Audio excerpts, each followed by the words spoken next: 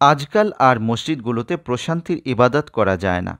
ইলিয়াসি তাবলিকি দলের দুপক্ষের সহিংসতা লেগেই থাকে।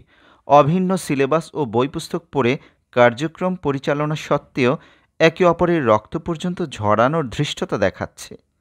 মনে রাখবেন, মুসলিম ভাইয়ের রক্ত ঝরানো কুফরি কাজ এবং মুসলিম ভ্রাতৃত্ব বিরোধী মনোভাব রাখা ইমান পরিপন্থী পাপ কাজ।